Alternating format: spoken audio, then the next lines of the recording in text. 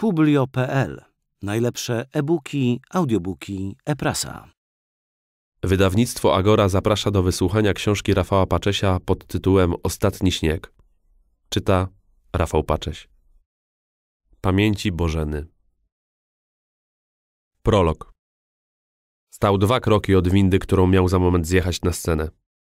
Jack Savoretti śpiewał mu wprost do ucha. Prosił o pochowanie go razem z całym jego wstydem, o złamanym sercu, o kłamstwach i obietnicach. Chwilę wcześniej Caboclo Soniador, a przed nim nie chce więcej Bajora i Gdybyś kiedyś Palucha. Numer, który niedawno dodał do playlisty.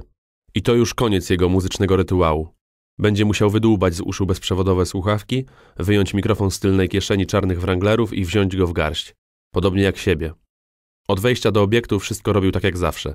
Tak jakby to był zwykły dzień, jakby nic szczególnego się nie wydarzyło i nic szczególnego nie miało się za chwilę wydarzyć. Zaniósł walizkę do garderoby. Poszedł na scenę. Postał chwilę w ciszy, próbując nie myśleć, że cała obsługa sali, ochrona i przede wszystkim akustycy czekają, aby wreszcie rozpocząć próbę. Im szybciej się skończy, tym szybciej będą mogli pójść na obiad i odpoczywać aż do godziny zero. Podniósł mikrofon do ust, powiedział parę słów i słuchał, jak odbijają się od pustych betonowych ścian areny, by wrócić do niego echem. Na sztuce pójdzie w szmaty! Usłyszał w odsłuchu chrapliwy głos akustyka. Znaczyło to tyle, że ubrania widzów zniwelują pogłos na sali. Wiem, rzucił. Ale chcę jeszcze posłuchać. Jasne. Próba trwała nie więcej niż pięć minut. Dziękuję. Mruknął i oddał mikrofon akustykowi, który stał obok z tabletem w dłoniach. Potem kawa, prasowanie, ćwiczenia na dykcję, kawa, woda, kawa. Spojrzał na kota, który obwąchiwał garderobę. Na pewno nic nie zjesz? szepnął Tadek, wsadzając głowę do garderoby. On tylko pokręcił przecząco głową i wcisnął do uszu białe słuchawki. Trzy godziny minęły jak trzydzieści minut. 18.58. Weszli z garderoby i poszli w kierunku gigantycznej sceny. Podeszli do ekipy stawiającej stage. Ze strzępów radości powszednich los swój tkarz. Śpiewał Bajor. On czuł płomienie na policzkach i zimny wiatr na czubku nosa. Czuł, że jego organizm zaczyna wariować. Spotkał się wzrokiem statkiem, który najwyraźniej dostał od głównego inżyniera dźwięku znak, że są gotowi. Podniósł wskazujący palec i pokazał na swoje ucho. Tadek zrozumiał bez słów. Jeszcze jeden numer. Trzy minuty! krzyknął w twarz akustyka. Tamten przytaknął i odszedł, powtarzając informację do dużego walkie-talkie. Przeskoczył jeden numer do przodu. Czuł, że Bayer, który zwykle pomagał mu się uwrażliwić, rozluźnić, dzisiaj go obezwładnia. Betonuje mu gardło. Paluch to samo. Słowa, które zwykle go motywowały, dzisiaj były jak sól wysypana na otwartą ranę. Przeskoczył dalej na cardio. Może to pomoże mu nie myśleć. Sekundy uciekały. Zwykle wyjmował słuchawki z uszu kilka minut przed startem show, żeby oswoić się z gwarem tłumu. Dzisiaj bał się tego dźwięku bardziej niż kiedykolwiek. Nie doczekał refrenu. Stop. Wyjął słuchawki, włożył do etui i położył obok telefonu i butelki z wodą. Tadek podszedł do niego niepewnym krokiem. Jak jest? Okej. Okay. Skłamał. Minuta? Okej. Okay. Odszedł na bok i zniknął w czerni między kotarami zwisającymi z sufitu. Jego obecność w kulisach zdradzał tylko ekranik mikrofonu, który rozświetlając mrok pokazywał, że baterii wystarczy na 12 godzin.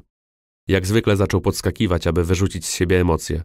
Czuł, że dzisiaj jest to nie tyle nieskuteczne, ile beznadziejne. Wyrzut adrenaliny był zbyt słaby, żeby większa ilość krwi dopłynęła do mózgu i pozwoliła szybko powtórzyć całą rozpiskę tematów. Nie wiedział, jak zaczyna, o czym będzie mówił. Jego senny koszmar właśnie stał się rzeczywistością. Dziewięć tysięcy osób czeka na niego już o siedem minut za długo. Chciałby przynajmniej mieć pustkę w głowie, bo wtedy po wyjściu na scenę umysł może by się rozjaśnił. Ale w jego głowie było wszystko, wszystko oprócz materiału. Marzył o tym, żeby uciec, żeby przebiec kilkaset metrów do tylnych wrót, wsiąść do Mercedesa i pojechać jak najdalej się da. Zamknąć się w hotelowym pokoju z zapasem whisky, kokainy i fajek i zakończyć w nim swój żywot. Uwolnić się od swojego ciała, od serca, od głowy. Wyobraził sobie na swoim pogrzebie ojca, Marylę. Maryla na moim pogrzebie? Jakim cudem? Dlaczego ona żyje, a ja nie? Oddałem za nią życie? Czuł, że ogarnia go szaleństwo. Robert, musimy... Tadek wyrósł w ciemności jak z podziemi. Okej. Okay. Syknął. Gardło wciąż było zablokowane. Poszedł za tatkiem w stronę windy, chociaż powinno być odwrotnie, bo to Robert po spędzeniu kilku minut z zamkniętymi oczami miał wzrok przyzwyczajony do ciemności. Widział wszystko doskonale, jedynie obraz tuż pod stopami delikatnie rozmywały mu łzy na tyle łaskawe, by nie spłynąć po twarzy. Wszedł po kilku stopniach metalowych schodów prowadzących do platformy, którą za kilkadziesiąt sekund miał zjechać na scenę. Na trybunach słychać było wyraźnie gwizdy zniecierpliwionych widzów. Pająk? Tadek wszedł dwa stopnie za przyjacielem i wyciągnął do niego dłoń. Robert odwrócił się i przybił mu piątkę. Tadek przyciągnął go do siebie jak nigdy przedtem i mocno poklepał po plecach. Powko! Robert tylko przytaknął głową. Nie mógł wydobyć z siebie słowa, za chwilę miał zagrać dwugodzinny komediowy monolog. Rozdział pierwszy. Osiem lat wcześniej. Robert Pajączkowski wyskoczył z chłodni, trzaskając za sobą stalowymi drzwiami. W ręce trzymał miskę, jaka normalnie służy ludziom do przenoszenia mokrego prania, ewentualnie do mycia nóg lub całego ciała, jeżeli ktoś nie ma łazienki. Albo ma łazienkę, ale bez wanny czy tam prysznica. Więc myje się w takiej misce. Zaczyna od twarzy, potem szyja, pachy, trochę brzucha, nogi, no i na końcu dupa. Nigdy w odwrotnej kolejności, chociaż akurat prababka Roberta wbrew jakiejkolwiek logice zaczynała od tyłka, a kończyła na twarzy. Robert zawsze wspominał prababkę i wakacje u niej przez miskę, która teraz powinna być wypełniona skrojoną cebulą, chociaż do połowy. Lecz tym razem w misce znajdowały się tylko przyklejone do ścianek pióra brązowej, niemal czarnej już ze starości cebuli. Co za leniwe chuje miały wczoraj zmianę! Wydzierał się Robert tak, żeby usłyszała go Kama, kasjerka, która była wczoraj w pracy. Maszerował pośpiesznie ciemnym korytarzem, zmierzając do tablicy korkowej, na której wisiały grafiki wszystkich kasjerek, kierowców i pizzermenów. Nie miał pojęcia, że tuż za nim w swoich rozdeptanych kroksach człapie kierownik pizzerii zwany Grubym. Wczoraj był zając, ale zamykał chyba łuki, krzyknęła z kuchni Kama, która kończyła przygotowywać kawę. Bez niej nie wyobrażała sobie porannego papieroska. Łuki, bardzo ładnie. Zaraz powiem Grubemu, żeby wziął sobie Łukiego do domu, a nie do pizzerii. Robert podrzucił plastikową miskę, jakby to była futbolówka i kopnął ją w stronę zmywaka. Miska trzasnęła i pękła na środku. Odejmę ci za nią z wypłaty, Syknął za plecami Roberta, jak zwykle czerwony na twarzy kierownik Pera Pizza. Kierowniku, ale ona i tak już była do wyjebania. Nie do umycia to jest. No i właśnie dlatego masz jeszcze minus stówkę za HCCP. Kurwa mać! Robert był już niemal tak samo czerwony jak kierownik. A zając i łuki? To tylko ja tu kurwa kręcę? Nie pyskuj, pająk. Woreczek, cebulka i raz dwa. Pierdolę to. Codziennie zaczynam od obierania 20 kilo cebuli. Pająk, idziesz palić? Kama wyszła z kuchni, trzymając w ręku dwa obtłuczone kubki z logotypem pizzerii. Pająk idzie obierać cebulę, ale ja idę jarać. Gruby wyjął jej z ręki jeden kubek, odwrócił się na pięcie i ruszył w stronę porannego światła, które wpadało przez otwarte drzwi zaplecza. No to z kierasem zapalimy. Kama puściła do pająka oko i skinęła głową, zapraszając go na papierosa. Pierdziele, nie idę. Robert ruszył z powrotem do chłodni i po chwili wyszedł z niej z dwudziestokilowym workiem. Albo idę. Tylko kosz wezmę. Nie możesz obierać i palić, rzucił kierownik, nawet się nie odwracając. Mogę, nie możesz, mogę. Kama i kierownik delektowali się czerwonymi elemami i rozpuszczalną kawą z mlekiem oraz kosmiczną ilością cukru. Pająk dołączył do nich po minucie. Rzucił na ziemię worek z cebulą, usiadł na wysokim progu drzwi, między nogami ustawił duży plastikowy kosz, który przytargał z kuchni. Kurna, fajek nie wziąłem. Już masz mojego, pokerowe rozdanie. Kama wyjęła paczkę czerwonych papierosów z tylnej kieszeni białej jeansowej, zdecydowanie za krótkiej spódnicy i wyciągnęła w stronę pająka. A masz żaru? Szepnął Robert, trzymając już papierosa w zębach. No i jeszcze co? Jeszcze płuca może ci dam swoje. A ty, młody, przecież nie paliłeś chyba. Gruby zmrużył oko, wypuszczając dym z pulchnych polików. Nie paliłem, ale szefowa kazała mi zacząć. Szefowa? Ta. Łuki był na fajce i stałem z nim – a Kaśka podjechała i mówi, a ty co tu tak stoisz? A ja mówię, przerwę mam. A ona do mnie, nie palisz, nie masz przerwy. To zacząłem jarać. Dla ciebie nie Kaśka, tylko pani szefowa, skarcił pająka Kieras. No, szefowa, szefowa. Też tu zaczęłam jarać. Przez stres, wtrąciła Kama. A jaki ty masz stres? burknął gruby. Robert spojrzał do kosza. Trzymając papierosa w zębach, obrał już ponad kilogram cebuli. No, kasa, kierowcy, Pizzermeni wiecznie obrażeni? Odpowiedziała. E tam. Kieras machnął ręką lekceważąco. Pająk, dzisiaj będziesz miał nowego o trzynastej. Nauczysz go kręcić. Znowu? To po cholery ja to obieram. Przyjdzie świeżak, niech obiera. Obieraj, obieraj. Musimy mieć co najmniej czterech kręcących na bałutach do końca wakacji. Przecież jest czterech. Kama wypuściła chmurę dymu, kierując głowę ku górze. Ta, ale sztywny chyba zaraz będzie do odstrzału. A pan Robert od października pewnie weekendy wolne, tak? Nie wolne, tylko w szkole. Robert nawet nie podniósł wzroku. A co, sztywny znowu napierdolony przyszedł do pracy? Kama wyglądała na autentycznie zmartwioną. No właśnie, gorzej niż napierdolony, odpowiedział gruby. Zwąchany? Chyba tak. Ja tam się nie znam. Jezu, dobra, nie chce mi się jarać w ten gorąc. Kama potarła petem jak kredą po ciepłym betonie i wrzuciła go do puszki po pomidorach, z której stare niedopałki kipiały już niczym popcorn z kinowego pudła. Kierownik dorzucił swojego peta i odwrócił się do pająka. Weź młody tę puszkę wymień w wolnej chwili, zamieć ładnie.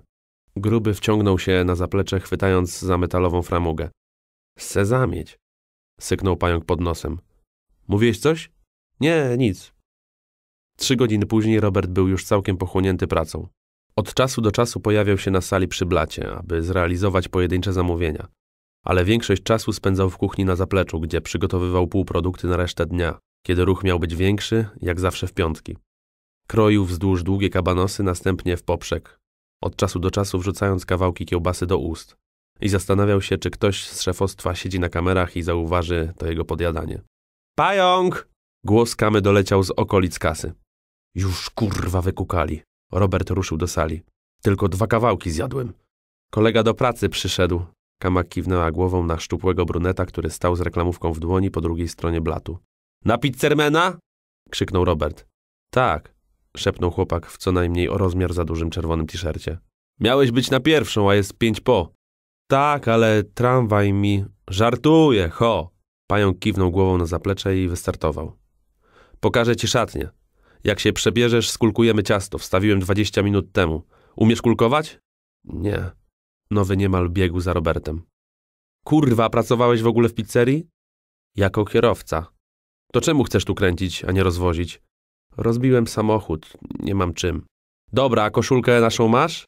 Chłopcy weszli już do szatni. Pod jedną z czterech ścian stały metalowe szafki, które zionęły smrodem nieświeżych ubrań i butów. Nie, miałem białą wziąć po prostu. Nowy wyjął z reklamówki zmęczony, wygnieciony t-shirt. No to na chuj wziąłeś żółtą? Nowy patrzył na Roberta, jakby ten mówił w innym języku. Żartuję, przebieraj się. Zapytam grubego, czy ma jakąś naszą koszulkę. Przecież w tym nie staniesz przy blacie, bo jak Kaśka zobaczy, to cię z miejsca wywali. Nowy zaczął powoli zdejmować adidasy. Kiero, mamy jakąś koszulkę dla nowego? Pająk darł się, idąc w stronę biura. Otworzył z impetem drzwi. Mamy koszulkę dla nowego? Puka się. Miał wziąć swoją.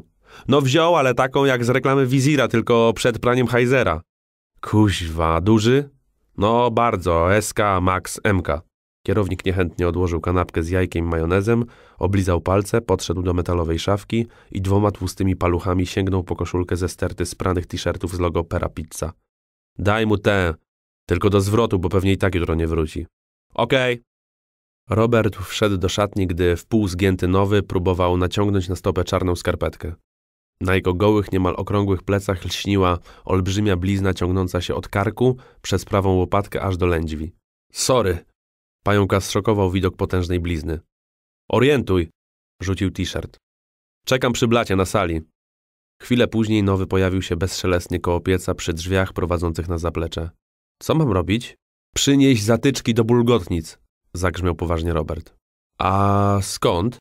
Z magazynu, tam gdzie napoje i konserwy, w pudełku koło opakowań na sosy. Okej. Okay. Nowy zniknął na zapleczu, a Kama uśmiechnęła się do pająka wymownie. Po kilku minutach Nowy wrócił na salę. A jak to wygląda, te zatyczki? Już nieważne. Ho, skulkujemy ciasto. Pająk dumny ze swojego żartu ruszył z powrotem do szatni. Kilka metrów wcześniej skręcił jednak w lewo. Chłopcy weszli do dużego pomieszczenia. Przez zaklejone mleczną folią okno wpadało tu ciepłe letnie światło. W kącie stała ciężka stalowa dzieża, a wielka łycha podrzucała w niej olbrzymią kulę białego ciasta, które wyglądało na gotowe. Wzdłuż ściany zamocowany był długi, odrapany blat, na którym stała tylko waga spożywcza. Obok leżało kilkanaście metalowych blach. W kącie znajdowały się dwie europalety, a na nich dwie wieże z szarych worków z mąką. Każdy ważył 20 kg. Już jest dobre! Pająk przekrzykiwał hałas, jaki generowała olbrzymia stalowa misa, obracając się niczym olbrzymi robot kuchenny. Wciśnij tamto! Pająk skinął głową na włącznik na ścianie. Nowy delikatnie nacisnął przycisk. Dzieża zamarła, a wielka klucha opadła na dno stalowej misy. Ciasto powinno się robić z 20 kilo mąki. Ja robię z 40, bo mi się nie chce tyle razy wstawiać. Zaczyn też robię podwójny. Podwójna ilość oleju i wody. Rozumiem. Nowy gładził koszulkę na swojej wątłej klatce piersiowej. Przepis na zaczyn poznasz, jak dłużej popracujesz i podpiszesz lojalkę.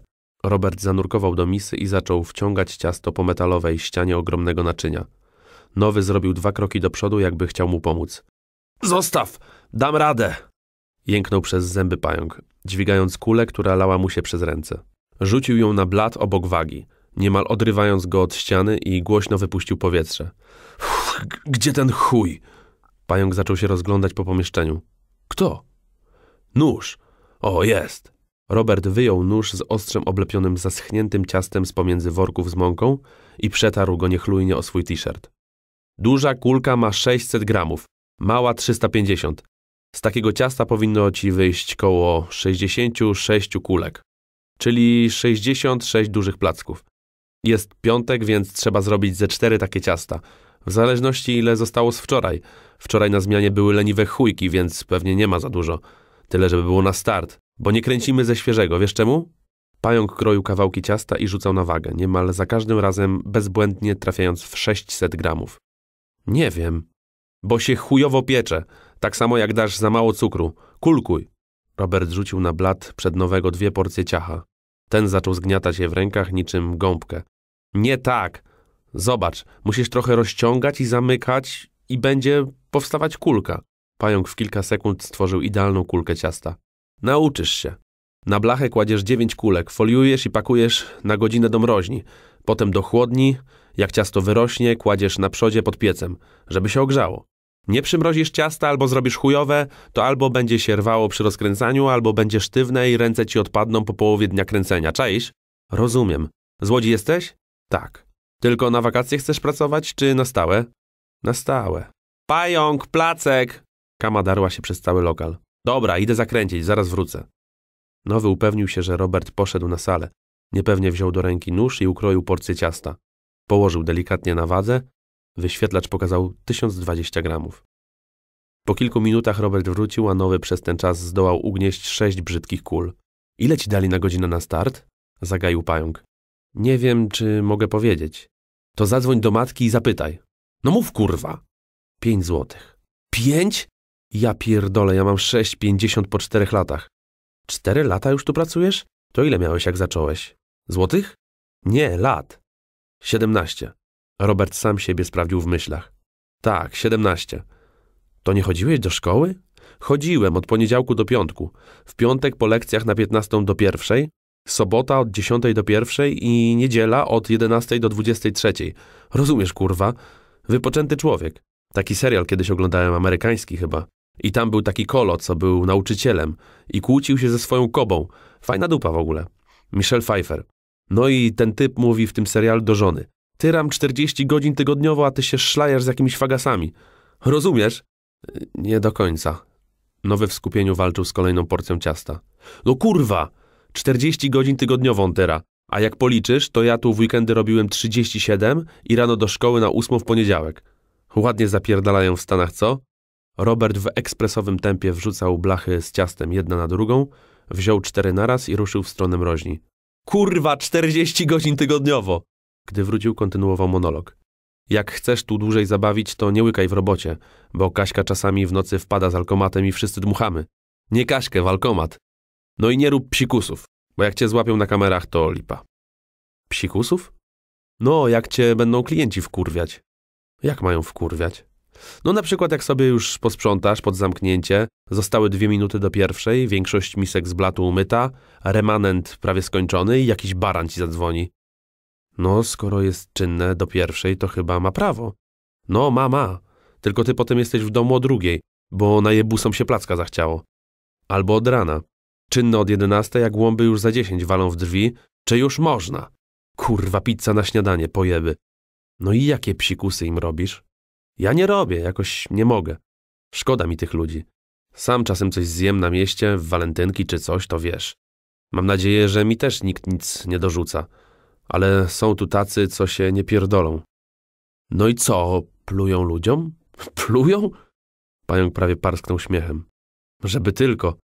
Taki Rysiek pracował, to on zawsze kichał na placki. Nowy się skrzywił, jakby wypił łyk z kisłego mleka. No, oblech. Pająk pokiwał głową. I to zawsze wiesz. Po piecu. Po piecu? No tak, w piecu masz prawie 400 stopni. Pająk kulkował ciasto obiema rękami niczym wprawny piekarz. Jego czoło zaczęło błyszczeć od potu. Jak cokolwiek zrobisz przed piecem, znaczy przed pieczeniem, to i tak temperatura zabija wszystkie bakterie.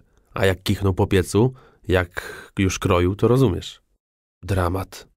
No, ale rzadko to robił. Ciężko się kicha na zawołanie. Ale to mały pikuś.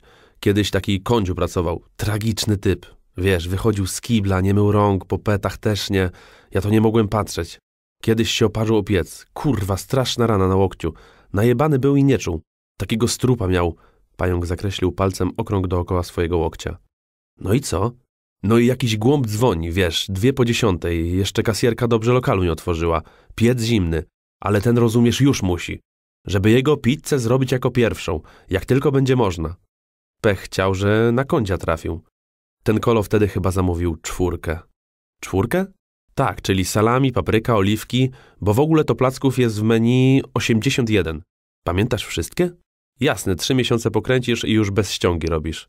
Nieważne. Czwórkę plus ser zamówił ten typ. Robert zaczął skrobać szpachelką po blacie, usuwając z niej resztki ciasta.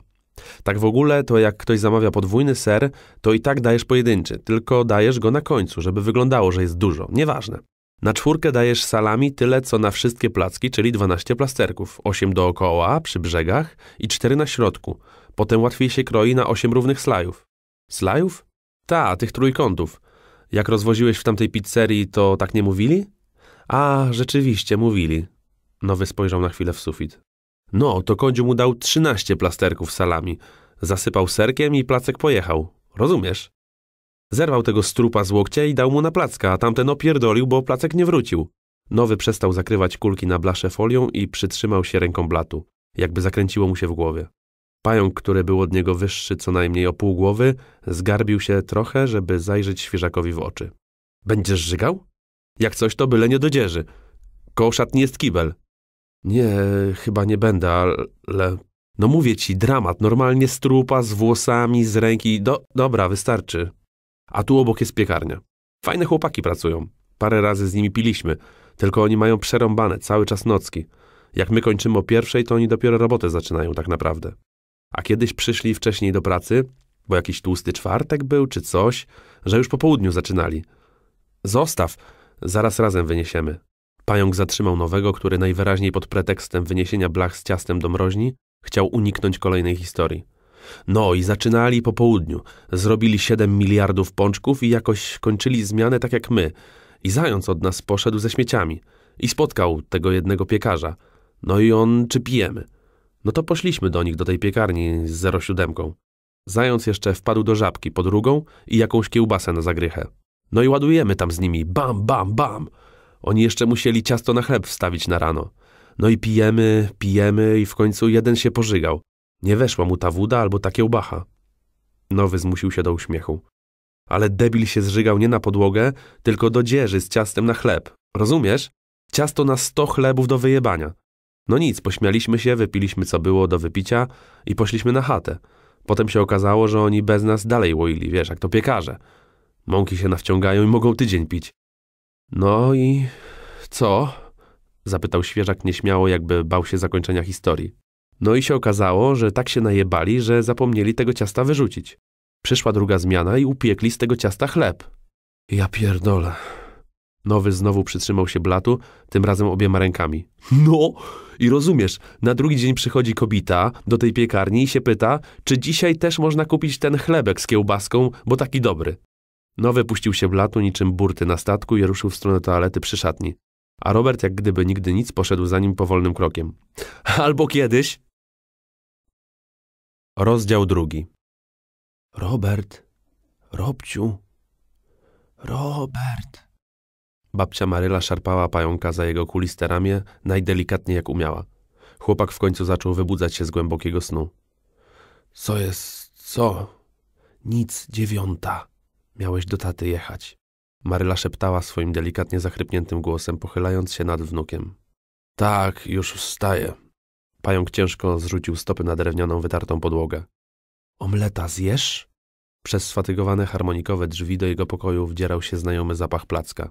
No pewnie. Maryla wyprostowała się powoli i ruszyła z powrotem do swojego pokoju, w którym znajdowała się też otwarta kuchnia. Babcia miała 65 lat, ale przez astmę i wywołaną długim leczeniem sterydami otyłość poruszała się w swoim wysłużonym zielonym szlafroku, jakby miała co najmniej 10 więcej. Pająk przetarł oczy i dźwignął się ciężko z wersalki. Jezu, moje giry. Ruszył do łazienki po strzelających ze zmęczenia sosnowych deskach. Szybko, bo stygnie, rzuciła Maryla do zamykających się drzwi. Po kilku minutach Robert wyszedł z mokrymi włosami i usiadł przy stole. Złocisty, parujący omlet przykrywał niemal cały talerz. Babcia postawiła koło niego słoik z ciemnofioletową konfiturą. Odkręć, synu, bo ja nie mam tyle siły. Nie mam siły. Robert zacisnął zęby, a dłoń położył na wieku słoika. A kto to zakręcał? No niby ja, ale jak się gotuje, to zasysa. A ty nie jesz? Już jadłam przed ósmą. A która jest? No mówiłam, po dziewiątej. Cholera! Robert zaczął szybko rozsmarowywać konfiturę po omlecie. Spokojnie, synu. Maryla usiadła naprzeciwko Roberta, jednocześnie stawiając przed nim drugi słoik z taką samą konfiturą. Weźmiesz dla ojca? Babcia, wiesz, że ja nie mogę mu nic dawać, a już na pewno nie w słoiku. To może przełożę w jakieś pudełko? Babcia, nie pozwolą mi. Mój Boże, ja nie wiem, żeby człowiekowi nie można było nic dać. Robert potrząsnął lekko ramionami. A dlaczego ty palisz? Podeszła go z innej strony babcia. Nie palę. Maryla wyjęła z kieszeni szlafroka dwie zapalniczki i położyła na stole. Były w twoich spodenkach z pracy. No bo piec podpalam przecież. Mówiłeś, że macie elektryczny. Robert wziął dużego łyka czarnej kawy, żeby dać sobie więcej czasu do namysłu. Spróbował odwrócić uwagę babci. Zapytać, czy możesz przyjść? Nie. Maryla westchnęła. Nie pytaj, może w przyszłym miesiącu. Robert położył sztućce na talerzu i zabrał go ze stołu, wstając. Pycha, babcia. Lecę się spakować do starego i do roboty. Talerz wstawił do zlewu. Dobrze, tylko nie pędź tak. W minutę zjadł takiego omleta. Ty gryziesz w ogóle? Gryzę, gryzę, lecę, pa. Maryla zebrała słoiki z konfiturami i drobnymi kroczkami podeszła do lodówki. Pa, pa, rzuciła zatroskana. I nie pal! W odpowiedzi usłyszała tylko klekot zatrzaskujących się drzwi wyjściowych. Dwadzieścia minut później Robert podjechał pod szlaban jednego z największych i najstarszych szpitali psychiatrycznych w Polsce. Łódzka Kochanówka. Portier nawet nie wyszedł ze swojej budki. Rozpoznał złotego Matiza Roberta po braku przednich kołpaków. Wcisnął przycisk i wysłużony szlaban się podniósł. Robert machnął ręką na powitanie, po czym ruszył z werwą aleją prowadzącą do głównego budynku. Zahamował trochę za późno. Zderzak Matiza przywitał całusem żywopłot, który otaczał parking. Robert chwilę siedział w samochodzie. Zawiązał but, przeczesał ręką włosy, wreszcie wygramolił się z kabiny. Spojrzał w okna szpitala. Wyjął paczkę papierosów z drzwi kierowcy i wsadził jednego między zęby. Odpalił i ciężko wypuścił dym. Zatrzymał wzrok na jednym z okien. Niemal od razu go zauważył. Poznał po charakterystycznym ruchu głowy. Kiedy Andrzeja Pajączkowskiego zalewała ekscytacja lub był czymś zdenerwowany bardziej niż zwykle, jego głowa zaczynała nieustannie przytakiwać. Ojciec Roberta, 45-letni wyłysiały mężczyzna, stał w oknie i dreptał nerwowo w miejscu. Widać było, że oddycha coraz szybciej i ciężej. W końcu nie wytrzymał i pobiegł w głąb pomieszczenia, by po chwili wrócić do okna i raz jeszcze odbiec. I tak w kółko. Robert, widząc w oknie pojawiającą się i znikającą postać ojca, zrozumiał, że nie może dłużej zwlekać. Zrobił dwa kroki w bok i zgasił peta o kosz na psie odchody. Trzasnął drzwiami Matiza i szybkim krokiem pomaszerował w kierunku stalowych wrót szpitala, które zawsze przypominały mu drzwi chłodni w Pera Pizza. Dobry! rzucił pająk do znudzonego stróża. Ten z łaską dźwignął się z zabiórka i pchnął przed Roberta plastikowy pojemnik. Metalowe, klucze ostre. Tak, tak, nic nie mam. Wpiszę do kogo i numer dowodu. Facet obrócił do pająka zeszyt wizyt, obszedł kontuar i pomachał wokół gościa wykrywaczem metali. Wchodzi. Chwilę później pająk stał przed ciężkimi skrzydłowymi drzwiami z przytwierdzoną wiekową plakietką świetlica. Wziął głęboki oddech, w końcu nacisnął klamkę i przekroczył próg sali zabaw dla schorowanych dorosłych. Zawiasy jęknęły głośno i twarze wszystkich pacjentów oraz personelu obróciły się do Roberta. Dzień dobry, szepnął pająk. Dzień dobry, dzień dobry, dzień dobry pani.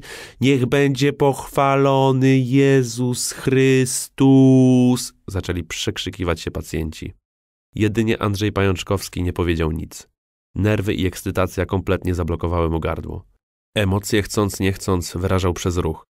Wyglądał jakby na egzaminie aktorskim starał się odegrać wesołego psa. Robert też poczuł, że w gardle ma ciężką kulę. Przełknął ślinę, żeby przepchnąć ją do żołądka. W świetlicy panował zaduch pomieszany ze swądem spoconego ciała i fekaliów. Cześć, tata! Robert ruszył w stronę ojca, który stał przy jednym z plastikowych ogrodowych stolików i kiwał głową tak mocno, że prawie się kłaniał. Papierki, papierki, papierki? Cicho, mam. Pająk położył ojcu rękę na ramieniu, które nie wiedzieć czemu wciąż zdawało się umieśnione, silne. Przytuli, przytuli, Andrzej drobno drepcząc przysunął się do syna i przytulił go o wiele za mocno. Udusisz mnie! Robert się zaśmiał. Siadaj, jak się czujesz? Papierki, papierki? Mam, co u ciebie? Andrzej unikał kontaktu wzrokowego, cały czas bujał się to w przód, to w tył. Lepiej śpisz? Na papierka, na papierka? Robert zwrócił się do oddziałowej. Możemy wyjść na spacer? Taka pogoda? Nie ma pozwolenia od lekarza prowadzącego, rzuciła sucho. Schowasz? spytał znów ojca. Papierki, papierki, papierki. Andrzej bujał się jeszcze mocniej, teraz chyba rzeczywiście przytaknął głową. Robert założył nogę na nogę, spojrzał dyskretnie na oddziałową i pozostałych pacjentów. Podciągnął lekko nogawkę dresów i wysunął z za skarpety paczkę mocnych w miękkim opakowaniu. Podał ją pod stołem ojcu.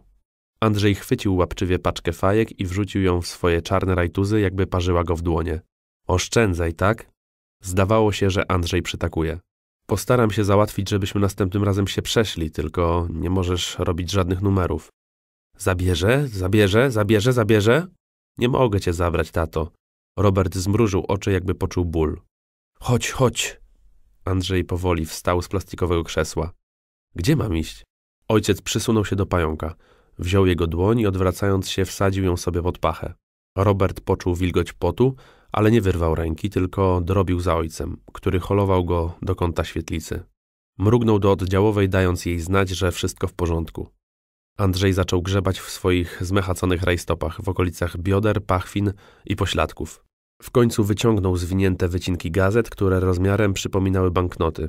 Znowu dreptał w miejscu. Jego klapki cicho mlaskały, odrywając się od lepkiego linoleum. W końcu wepchnął plik powydzieranych gazet w dłoń syna.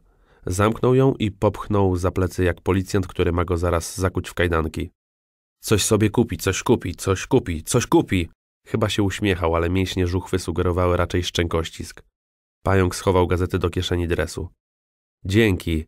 Będę leciał, tata. Zabierze, zabierze, zabierze? Nie, nie mogę. Pająk ruszył do drzwi, uśmiechając się serdecznie do pozostałych pacjentów, ale ci zdawali się już w ogóle go nie dostrzegać. Andrzej dreptał kilka centymetrów za synem, cały czas mlaskając klapkami. Oddziałowa szła powoli za Pajączkowskim. Kiedy Andrzej zrozumiał wreszcie, że Robert wychodzi, ponownie przytulił go z całych sił. Puścił pająka nagle i skierował się do tego samego okna, w którym kilkanaście minut temu zobaczył jego samochód. Robert wyjął z kieszeni bluzy długą czekoladę i kolejną paczkę mocnych. Podał je oddziałowej. Będzie mu pani wydzielać, pani Zosiu? Dobrze.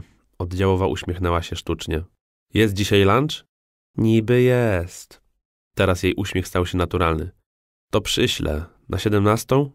Może być na siedemnastą. Do widzenia. Pająk spojrzał jeszcze raz na plecy ojca. Znowu przełknął ślinę i zmusił się do uśmiechu. Tata! Andrzej przestał dreptać i delikatnie obrócił głowę w lewo, jakby nadstawiał ucha. Wszystkiego najlepszego. Na razie. Z emocji wciąż szumiało mu w uszach, gdy usłyszał z parteru niepokojące odgłosy szarpaniny. Zwolnił kroku. Spokój, spokojnie!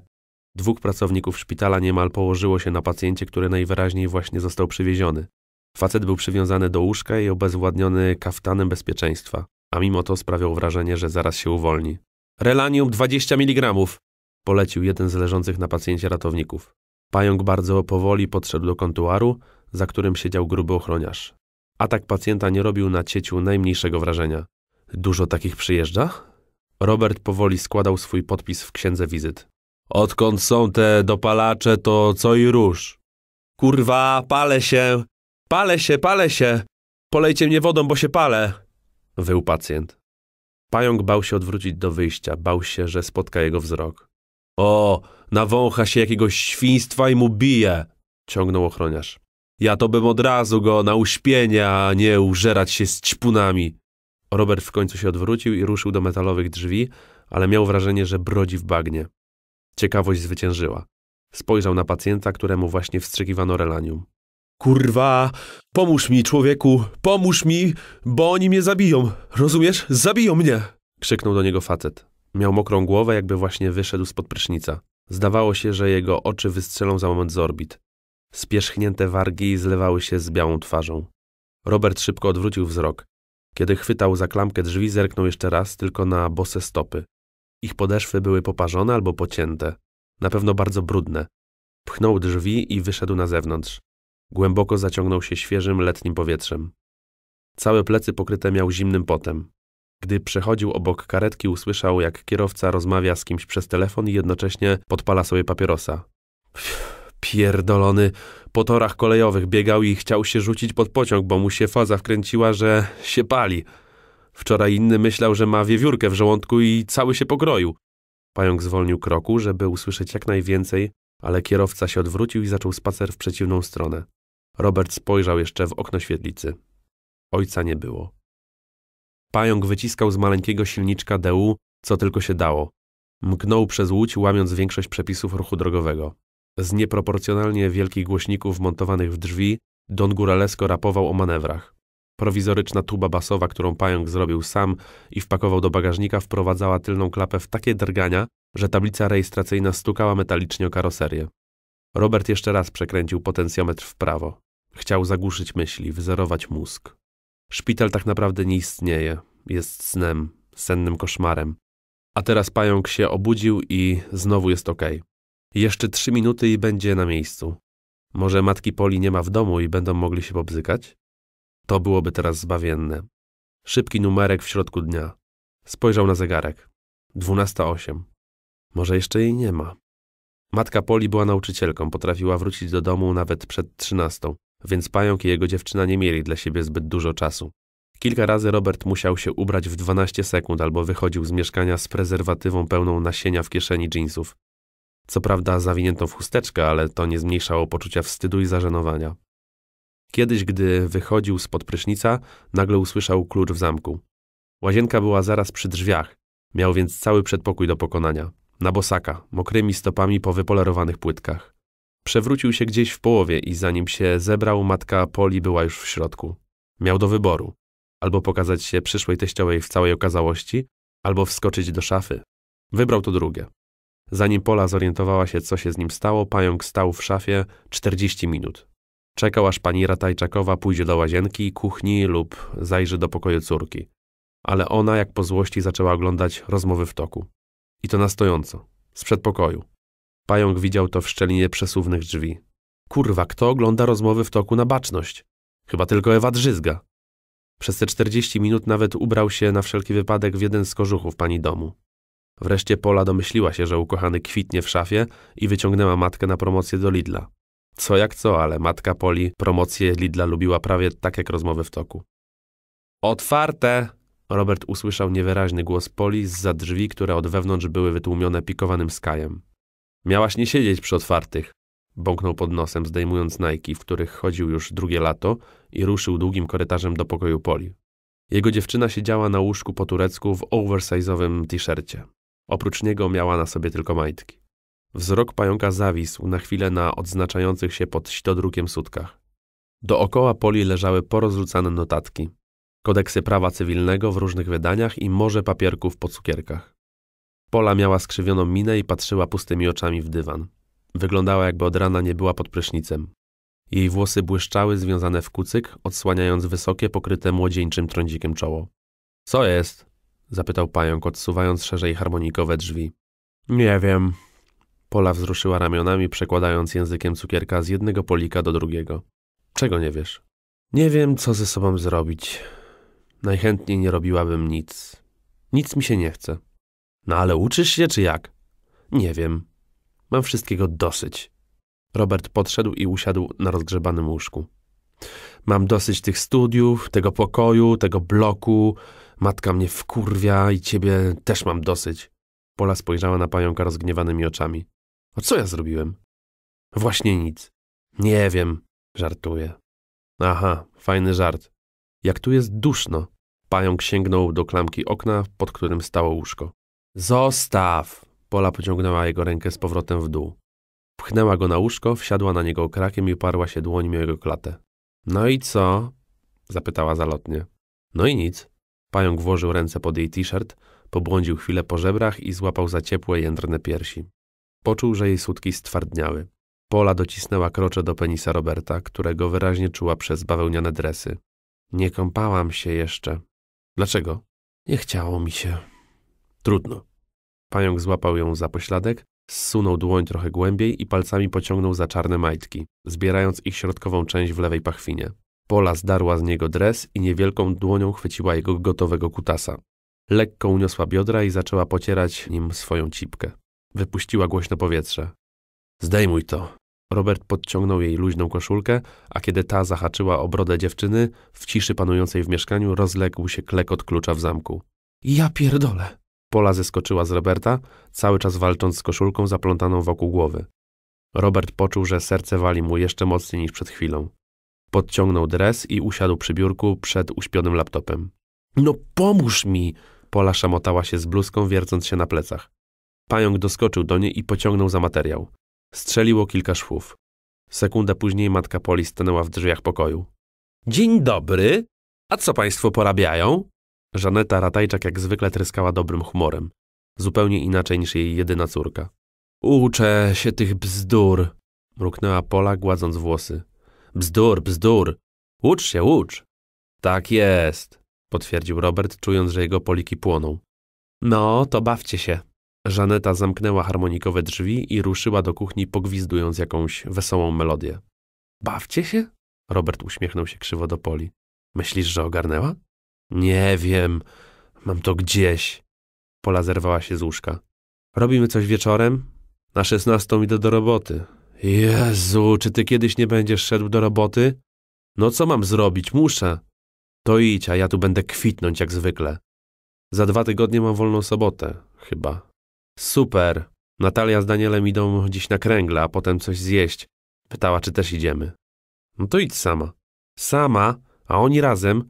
I ja jak jakiś debil. Dobra, idę się kąpać, chyba, że może... Co może? Nie, nic.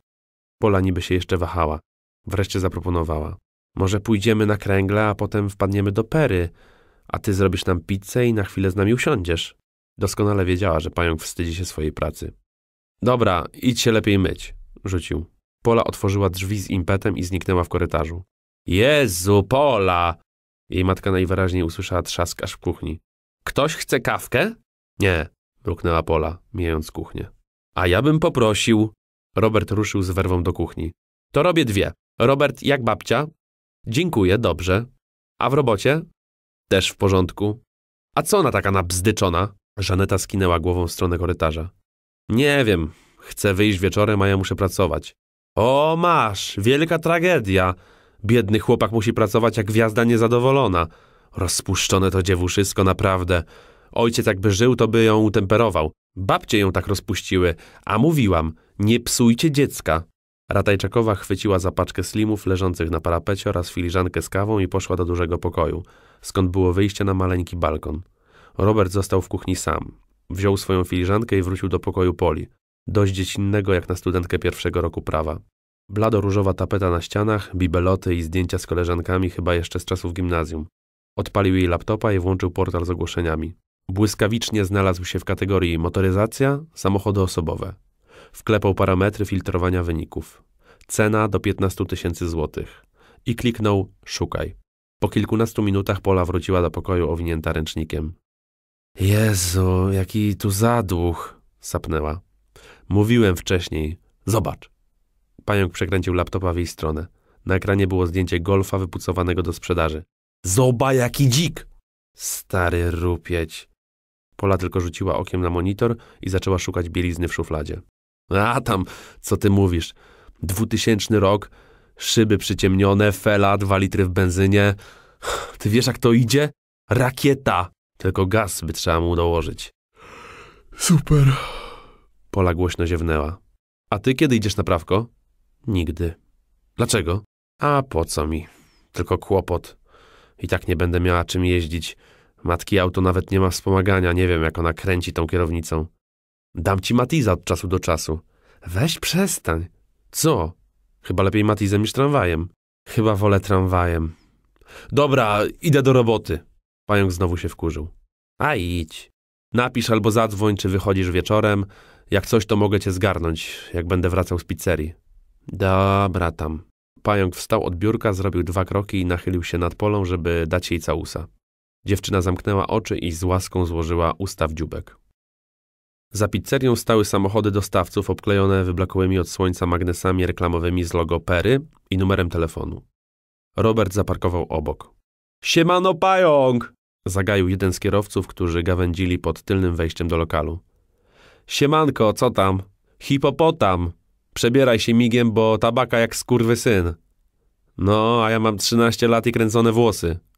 Było oczywiste, że jeżeli wszyscy kierowcy stoją pod pizzerią, to ruch jest praktycznie zerowy. W drzwiach na wysokim progu pojawił się gruby, z niezapalonym fajkiem w ustach. Co tak wcześnie, młody? Stęskniłem się. Mogę się wcześniej wpisać? Nie. Od szesnastej. Duży ruch? Zajebisty. Dziesięć placków od rana. O, to może pójdę do domu? Nie, nie. Kieras pokręcił głową, której brakowało szyi i pokazał palcem na wylot uliczki. Osiedlową drogą toczył się powoli ciągnik siodłowy z długą czerwoną naczepą. Ja pierdolę! stęknął Robert. Serio? Serio, serio! Gruby uśmiechnął się podle. Przeciskająca się między samochodami ciężarówka oznaczała jedno dostawę sera. Ręczne rozładowanie od 2 do 3 ton produktu. Serowe krążki ważyły po 12 kilo i trzeba je było wypakować jak najszybciej, bo kierowca stale się spieszył. Dlaczego zawsze ja mam iść do rozładunku? Jęknął pająk. Bo jesteś najlepszy, młody. Kierowcy nawet nie kryli, jak ich to bawi. Będziesz miał łapy jak pudzian. Godzinę później sery stały już poukładane wzdłuż ciemnego korytarza pizzerii. Teraz należało je przenieść do chłodni. Kurwa, będę to nosił do północy, mamrotał Robert, dźwigając po cztery krążki naraz. Pająk, szybciej, bo zaczynają dzwonić, zawołał do niego Łuki, który pracował przy blacie. To się naucz szybciej kręcić.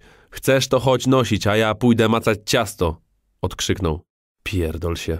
Syknął jeszcze pod nosem, układając ser na palecie w chłodni. Wtedy za jego plecami stanęła kama. Przynoś, a ja będę układać, zaproponowała. A jak ktoś zadzwoni, to niech ten nygus odbiera. Nie, daj spokój, to ciężkie jest. Ale kama upierała się przy swoim. Po jakichś dwudziestu minutach odchyliła się do tyłu, trzymając się zalędźwie. Kurwa, ale ciężkie. Znowu będzie mnie jutro picka bolała.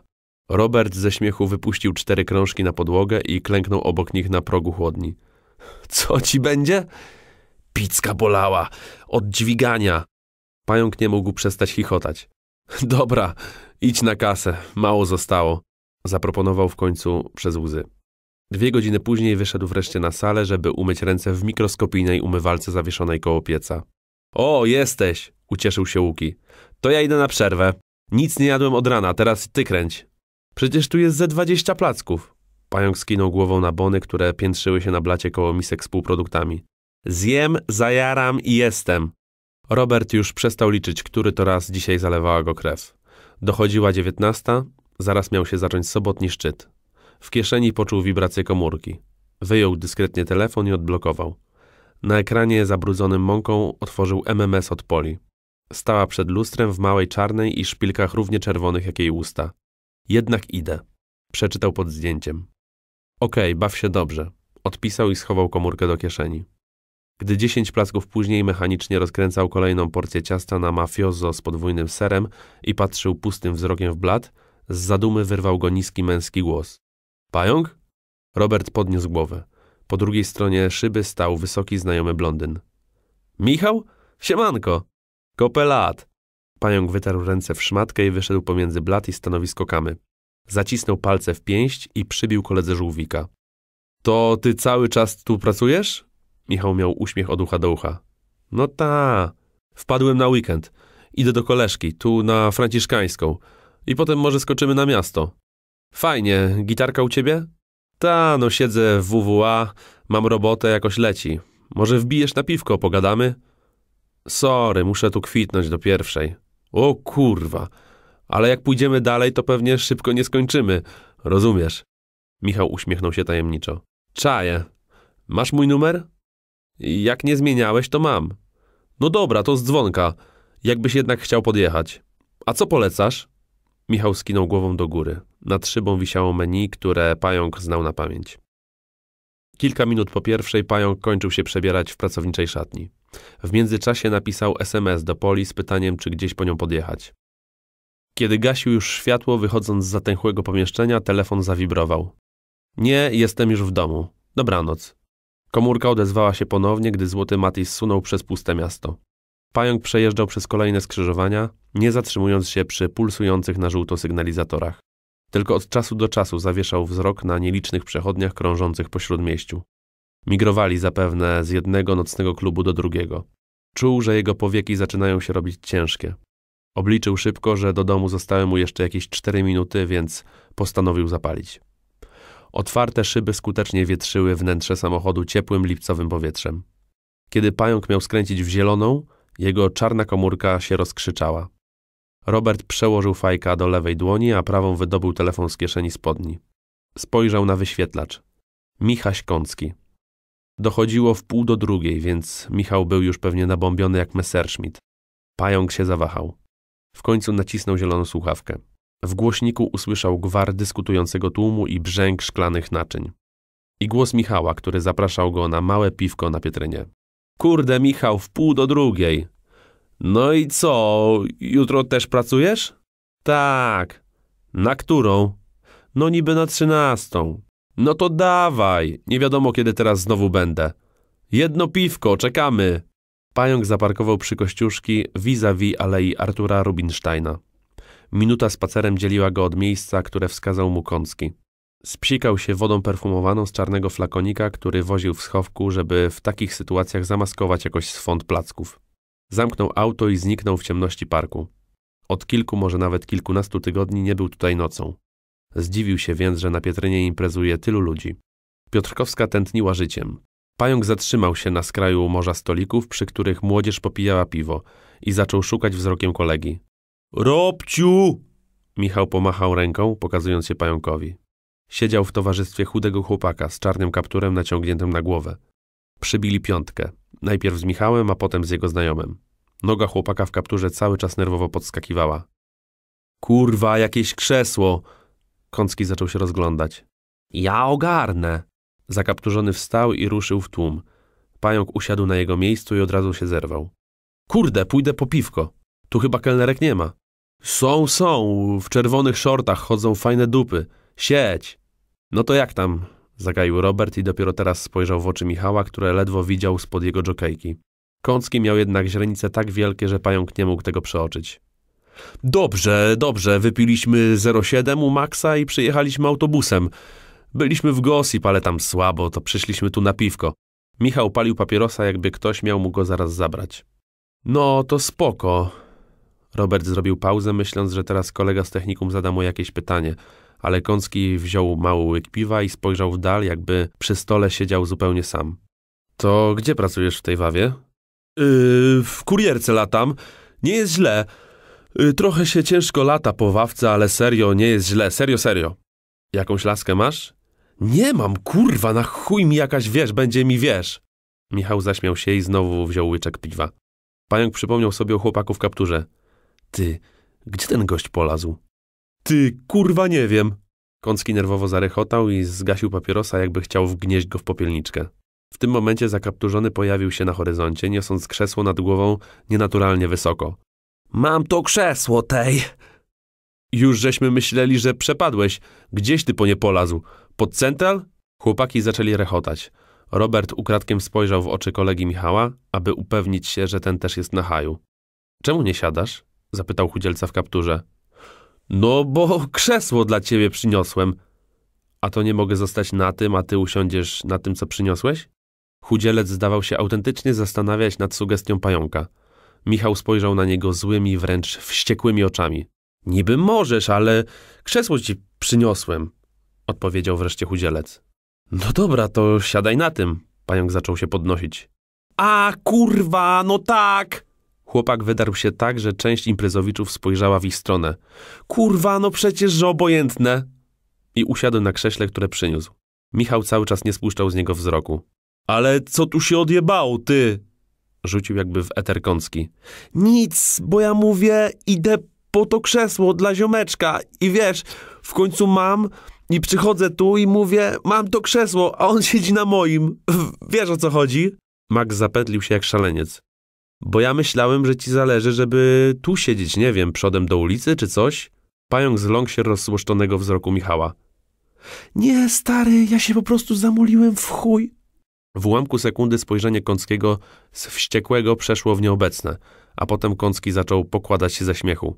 Ale ty jesteś kurwa głupi, Max! Mówił przez łzy do chudzielca. Stanął przy krześle i stoi, ja pierdolę, co za typ! Gdy w końcu przestali się śmiać, Max sięgnął po szklankę z piwem, która stała przed Robertem. mogę? No ta, przecież to twoje. No moje! Max znowu zaczął się śmiać. Jak krzesło! Wziął łyka, odchylił się na krześle i spojrzał w niebo. Ale pyszne! Kurde, to ja idę po piwo dla siebie, rzucił pająk. Mówiłem, że tu nie ma kelnerek. Chcecie coś? Sieć! Max pójdzie. Max odkleił głowę od oparcia krzesła powoli, jakby była bardzo ciężka. Pewnie, ja skoczę. Trzy wziąć? Nie, pójdę.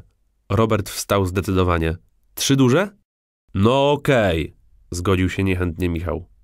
Może z sokiem teraz weźmiemy, Maksiu? O, no, z soczuniem będzie pycha. No dobra, to dwa z sokiem, zara jestem. Pająk z trudem wydostał się z za stolika i ruszył w stronę wejścia do bistro. Kiedy był pewny, że chłopcy nie widzą jego twarzy, w końcu zdjął maskę dobrego nastroju. Obejrzał się dyskretnie. Michał i Max dryfowali na krzesłach, opalali się w poświecie latarni. Robert przyspieszył, minął wejście do lokalu. Po kilkunastu metrach biegiem zobaczył gruziński lokal, w którym było niewielu klientów i kilka zgrabnych kelnerek w czerwonych shortach. Muszę iść do 6 sierpnia w lewo i w lewo, powiedział do siebie i ruszył okrężną drogą do samochodu. Dopiero teraz poczuł ból pleców spiętych najpierw po dźwiganiu sera, a potem po spotkaniu kolegi ze szkoły. Dziękujemy za wysłuchanie fragmentu audiobooka. Cała książka do nabycia w publio.pl.